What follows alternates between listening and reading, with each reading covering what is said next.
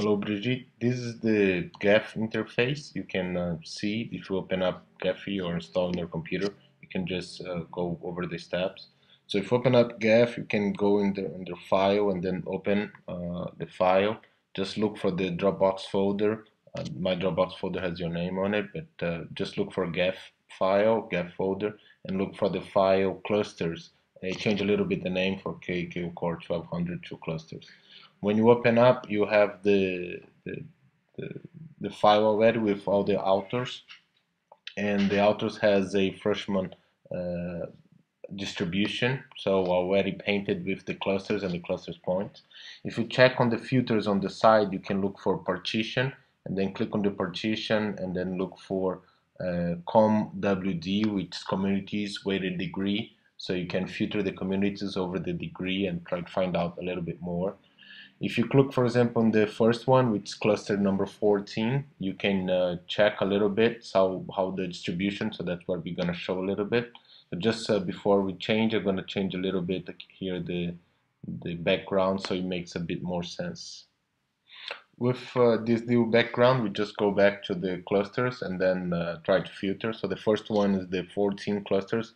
You can see from the top right in the screen that's 1636 uh, nodes you can see that some nodes are very uh, well connected, but the, the cluster 14 is very spread around.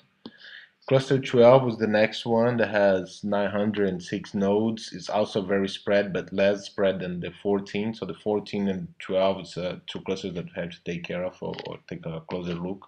Next one is cluster 2. You can see that it's much more dense and uh, uh under one connection and then all the, the next clusters that have the same latitude, the same formation. Next, uh, the next clusters we have is cluster 9 and then cluster 8 and then you see they are much more centralized and much more uh, cohesive than the, the first 12, 14 and 12 that we're going to take a look in a different way. So you're going to go over every single clusters in here.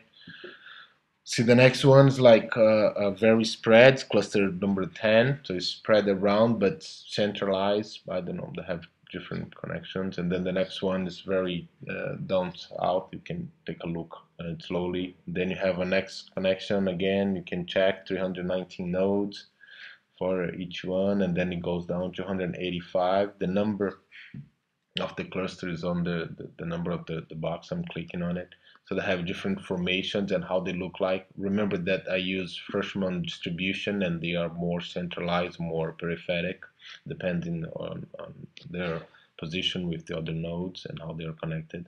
So this one is very, very on the side. Let's see how they are distributed. You can just take a look on it. So it's nice, nice to see it, uh, have an understanding, an idea. So you can just go over and see it. You can just slow down the video if you want it later on. Now they have uh, the next one. I have to change back the color because of the, the, the background. Uh, these ones I had put the, the, nodes into different colors. So this is the node 19. So you see that's very spread. So when they did the clusterization, somehow, I don't know, the clusterization algorithm separate a little bit.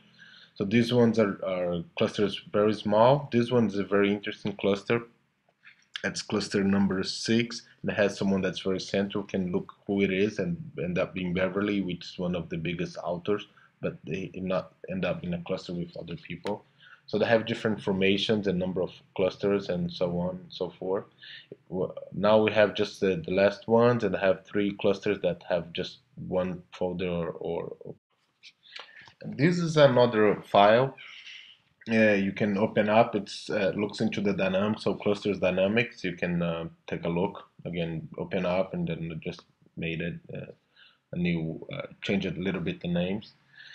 So if the cluster dynamics, what we're looking for, it's already open. Uh, we're looking just for some of the clusters and uh, just the big ones and see how they, they are spread out over the years. here we're looking into clusters 14 and 12 right? And uh, to look again into to the clusters, you go to the dynamics and then you bring down, it's already down here, um, just showing how you, you can do it if you uh, open up the file and want to play around a little bit. You can go to attributes, get partition, and then under the the dynamics, you put it in as a, uh, drag new filter, so you can just put filter over filter. So I, I have the dynamics and then the filter of the for each cluster. So you can just play around and then put any filter and can talk. So in this case here we have clusters 14 and 12, which is the biggest one. I told you that's the, the most spread around.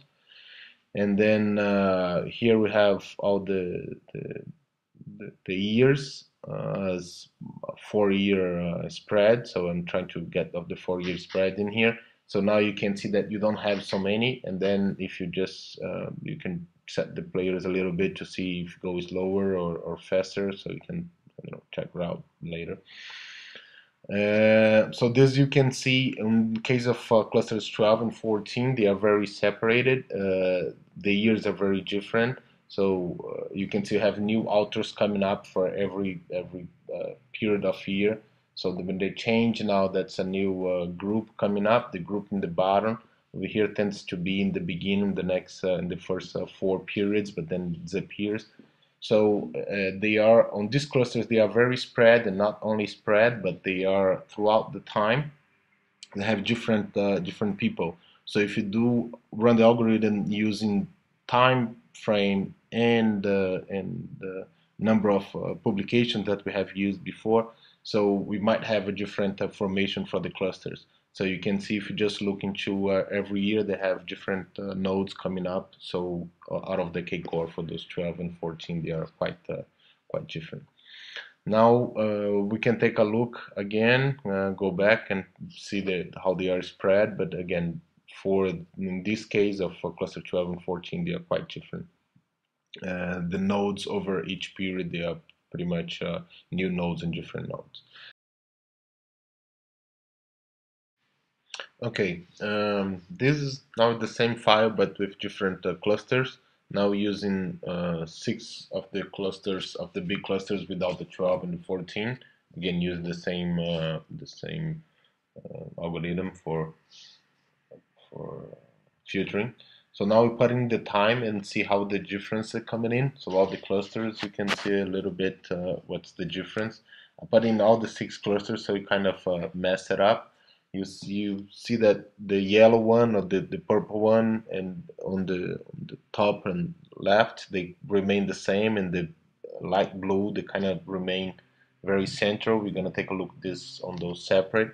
So those are the different years. You see they have uh, many uh, less authors on this period. Again just just the k core so the green they have a different uh, move. We can talk about that also. They have some players, but they kind of move towards the bright, and the red goes on and off a little bit, and the blue is kind of different, dark blue.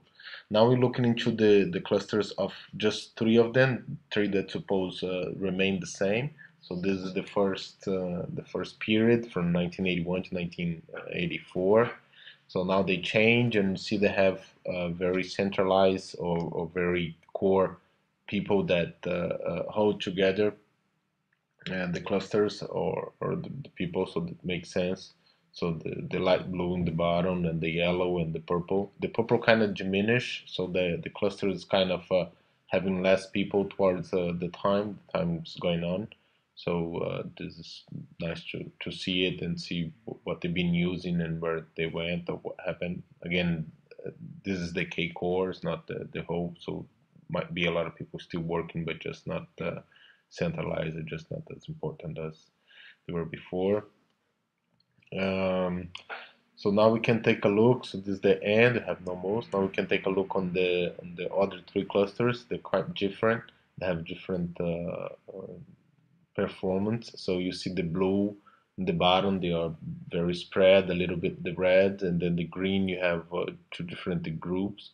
Then the green go crazy a bit, and you have the, the group on the middle goes uh, more strong, you have the red, and then the blue kind of stayed the same, but very kind of spread it out. So the, the green is very uh, group in the middle, very strong, and then you have a strong group or coming in on the right and that's towards the year so it makes a big difference now. So you see how it look like. So the, the blue is like the cluster is getting less people and less people. It seems that the green's growing stronger they have more people towards the end